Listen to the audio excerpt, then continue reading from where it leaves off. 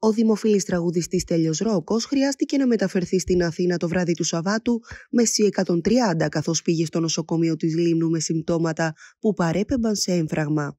Ειδικότερα, ο Στέλιος Ρόκος έφτασε στο νοσοκομείο της Λίμνου το Σάββατο περίπου στις 6.30 το πρωί και οι γιατροί παρατήρησαν τα συμπτώματα εμφράγματος, γι' αυτό και ζήτησαν την αερομεταφορά του με C130 στην Αθήνα για προληπτικούς λόγους.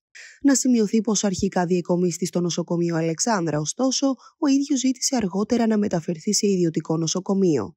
Η πύλη αξιού, το νυχτερινό κέντρο της Θεσσαλονίκης που εμφανίζεται ως τέλειος Ρόκος, ανέβασε μια ανακοίνωση στο Facebook όπου ενημερώνει για το πρόβλημα υγείας του τραγουδιστή. Όπως αναφέρεται, λόγω ασθένειας του αγαπημένου μας καλλιτέχνη Στέλιου Ρόκου, η πύλη αξιού θα παραμείνει κλειστή αυτό το Σαββατοκύριακο.